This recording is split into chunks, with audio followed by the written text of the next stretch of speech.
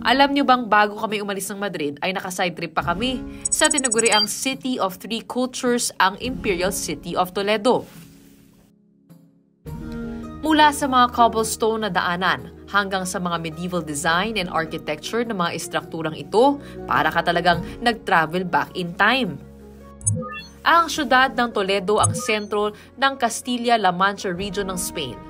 Ang UNESCO World Heritage Site na syudad na ito ay isang oras lamang mula sa Madrid.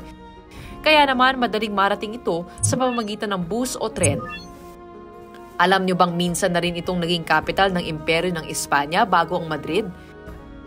Sa sentro nito matatagpuan ang Alcazar ng Toledo na minsan naging palasyo ng hari ng Espanya.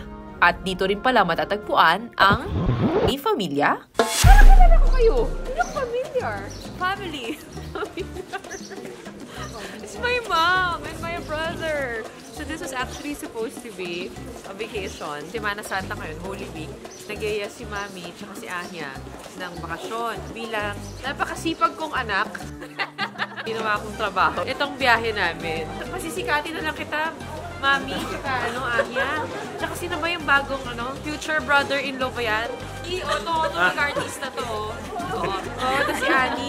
Tita, Mami ni Annie. Kakasama kami ngayon kasi talaga ay isang family vacation. Kamusta naman ang ano, biyaheng Espanya?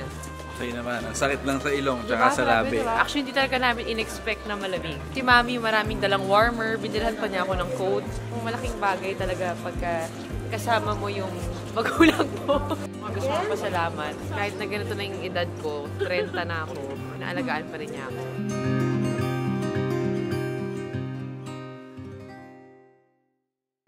Mabalik tayo sa kasaysayan ng Toledo. City of Three Cultures ang naging bansag sa Toledo dahil sa tatlong relihiyong umiral sa loob ng walled city na ito. 2,000 years ago, before Christ, eh, nandito yung mga Romans. At yung mga nakikita nyo ngayon, ito yung mga remains na na-excavate nila mula sa panahon na yon. Tapos ito yung daluyan ng tubig kung saan sila kumukuha ng pang-inom nila. So nakasulat dito, ito yung Roman wall at ito naman yung mga artifacts na nahukay nila kasama noon. So mga replika na lang nakikita ninyo. At dati, ang Toledo, ang tawag sa kanya ng mga Romans ay Toledo. Nang gawing capital ng mga Visigoth ang Toledo noong 4th century AD, nagsimula na ring manirahan dito ang ilang mga Jews o Hudyo Naging Kristiyano man ang mga Visigoth sa ilalim ng Roman Empire na natili ang Jewish settlement sa Toledo. Noong 712 AD, sinakop ng mga Moor o mga Muslim ang Toledo at Islam ang naging pangunahing relihiyon sa rehiyon. Makalipas ang halos apat na raang taon ay nasakop muli ang Toledo ng mga Kristiyano sa pamumuno ni Alfonso VI sa ilalim ni Alfonso VI, itinilaga niya ang sarili bilang emperador at ang Toledo bilang kapitolyo ng Imperyo ng Espanya. Isa sa nagpapakitang naibalik na sa mga Kristiyano ang syudad ng Toledo ay ang pagtatayo ng cathedral na ito noong 13th century, ang Primate Cathedral of St. Mary of Toledo. Binuo ito kung saan dating nakatayo ang Great Mosque ng mga Muslim sa Toledo. Kung titignan mo yung katedral na ito, eh medyo intricate talaga yung kanyang disenyo at ang daming artworks na tumingin ka sa bawat sulok nito. Siguro dahil na rin sa iba't ibang relihiyon na lumago dito sa Toledo. Nagsimula ito bilang isang Visigothic church. Tapos bigla sinakop sila ng mga Moors. Naging mosque ito. At pagkatapos naman, eh, naging Roman Catholic. But kitang-kita at ramdam na ramdam mo din yung iba't ibang impluensya ng mga relihiyon na yun. So, kung titignan mo, yung uh, mga windows niya, puro mosaic na. Tapos, pati yung roof niya, oh, kakaiba, oh. Ang ilan sa mga disenyo nito ay ginawa pa ng mga maestrong tulad ni Rafaelo, Goya at El Greco Sobrang ganda nung simbahan nito. Parang isa na siyang artwork eh, living artwork.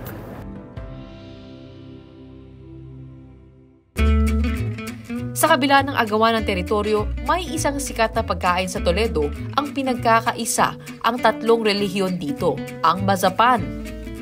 Uy, ayun! Nahanap ko din. Ito yung pinakamatandang nagbebenta ng mazapanes dito sa Toledo. Yung mazapanes Santo Tome, Confiteria. Hindi tayo pwedeng umalis na hindi tinitikman yun. Ang mazapanes de Toledo ay mula sa pinaghalong giniling na almond nuts at asukal. Matikman nga itong ano, mazapan. Kaya to. Parang dumpling, no? Matamis. Parang matamis na hopya, na lasang mangga. Parang hindi ko mawari yung lasa. Masarap naman, pero parang ngayon ko ito natikman, yung ganitong klaseng mixture. Ang mazapanes de Toledo ay halal o naaayon sa panuntunang Muslim. Kosher din ito o naaayon sa panuntunang Hudyo. Kaya anuman ang relihiyon, mai enjoy ang dessert na ito. Kung tutuusin, maliit na pagkain lang to. Pero akalain nyo, dito nagkasundo yung mga Kristiyano, yung mga Muslim, at yung mga Hudyo. Kain tayo. Bilang sentro ng imperyo, nakilala noon ang Toledo bilang pagawaan ng pinakamatitibay na espada sa buong Europa.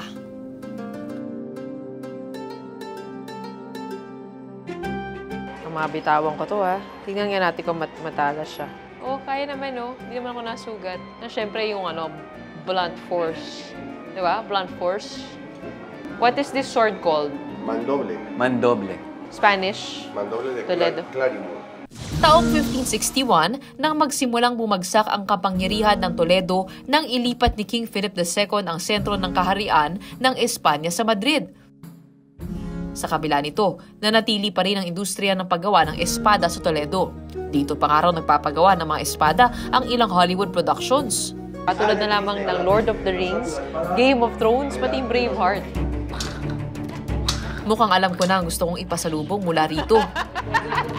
Which one you like more? You like more in silver or in bronze? This one is nicer. Okay, that one is my present for you. Tito, Ah! Titona del Bait pala ng mga ano, Sí? Espanyol. Muchas gracias. Side trip and shopping done! Kaya naman, back to work na muli.